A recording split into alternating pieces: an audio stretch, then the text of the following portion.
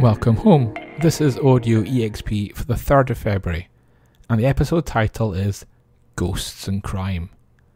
Terry Mandana won the February vote, and I've yet to get in touch, but I will this week, and I'll see where we get. Thanks to all Geek Natives patrons for their support and their votes. It's the start of the month, which means we can list the five candidates people will be voting for this time round. There is Rar, I'm a Monster Publishing, Christian Blair, Greg Bruni, Lunar Shadows Designs, and Jibola Designs. Voting, of course, happens over at Patreon. Now, some good news, or maybe some bad news going away. The Daily Digest email was unpaused last night. I don't know what I did to fix it. I've been trying for days and getting more and more desperate. The previous email was nearly a week old and it had been sent successfully, but it was still marked as unsent in the mail queue. I even tried stopping it and starting it again. Isn't that what Rob from IT always says to do? In the end, I think that deleting the last successful but stuck in limbo email might have been the power move needed. Certainly, I got the Daily Digest last night, and with a bit of luck, we'll get it again tonight. Not in limbo, but where do you think Duncan Jones has been since directing the World of Warcraft movie in 2016? Well, he did Mute in 2018, which missed my radar, and then that year his wife gave birth to their second kid. Duncan Zowie Haywood Jones is the son of David Bowie and is now attached to another British treasure. He's directing a 2000 AD movie. It's not Judge Dredd. It will be Rogue Trooper. This machinima movie, that's one made from computer game engines, tells the story of one surviving super soldier from a failed invasion on a revenge quest. His gun, helmet, and backpack contain the personalities of his killed in action squaddies. The cast includes Sean Bean, Matt Berry, Asa Butterfield, Hayley Atwell, and Rogue Trooper himself will be played by the newcomer Aneurin Barnard. I'm keen on a movie that Bronwyn has been tracking Ghostbusters Frozen Empire. Controversially, I liked the female remake and the most recent Afterlife more than I liked Ghostbusters 2. Frozen Empire seems to be a mix of the original two plus Afterlife. Not that making movies is easy, and that I'm that critical of Ghostbusters 2. I had my own awkward experience in front of the camera this week while trying to record a short clip to highlight that Gooey Cubes The Tomb of Gax is open for registration ahead of its crowdfunder.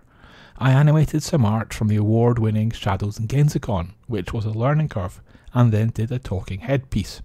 The main challenge was my dusty fan of a PC that I'm too timid to fix, and in doing so might confirm that the fan isn't entirely mounted straight, it makes so much noise that the microphone picks it up unless I have the microphone slammed in my face.